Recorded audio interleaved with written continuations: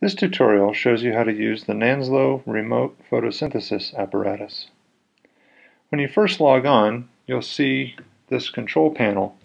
You may have to scroll down, but at the bottom of the page there's a yellow button that shows you how to join the voice conference when you click it.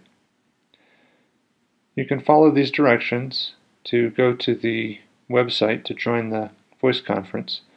Once you're there, you can either use your telephone or your computer mic and speakers to join the conference.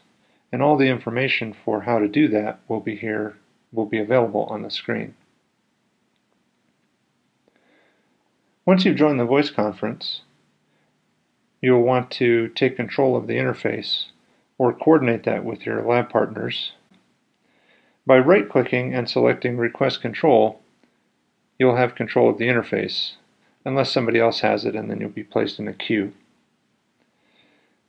There are three different graphs in this apparatus, and there's a camera that is looking into a photosynthesis box in which there is a small terrarium with some gas probes and a temperature probe mounted on it. You can move the camera, but it really won't give you much of a different uh, view of the situation. You can turn on the lights by clicking these buttons. For example, here's the grow light, and when it turns on,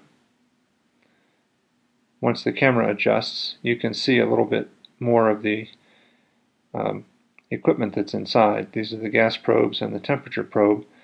The grow light is kind of a purplish light. It's kind of funny looking, so we'll turn it off. The white lights are a little more useful, so let's turn them on.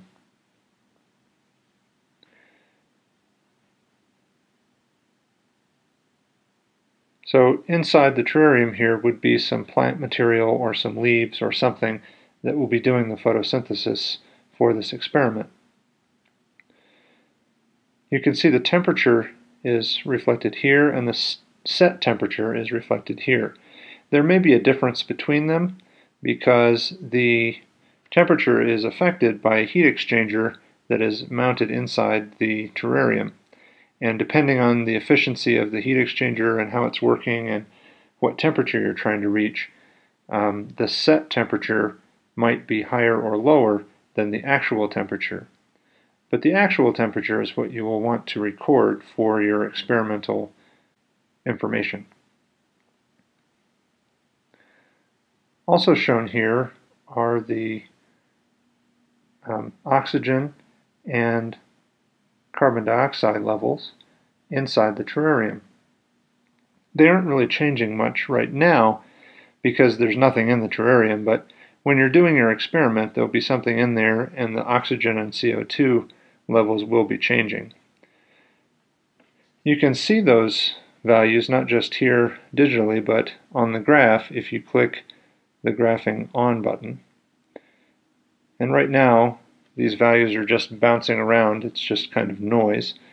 Um, as you collect data in a real experiment, these values will change significantly, and this little bit of noise that you see here will just be kind of swamped by the, the actual signal. In the case of the temperature graph, it's just a flat line in this case, but it it will change because you can change the set temperature to uh, change the conditions in the biosphere or in the terrarium. When you're finished graphing, just turn the graph off and then you can export the graph data and the graph image to another program. You can select which one you want and click export to clipboard and once you've done that you can paste it into a document. It's important to note that if you don't paste it into another document, the next time you copy something to the clipboard, it will overwrite whatever was previously there. So there's the graph data. And now we can export the graph image itself by simply changing our selection and exporting to clipboard one more time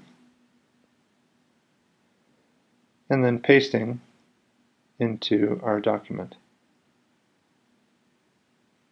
This way you can save the data and image for later manipulation and inclusion into a lab report.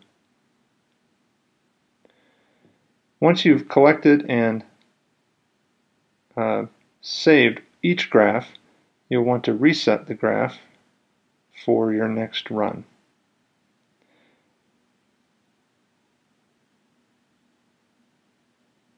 And when you're all finished, make sure all the lights are turned off.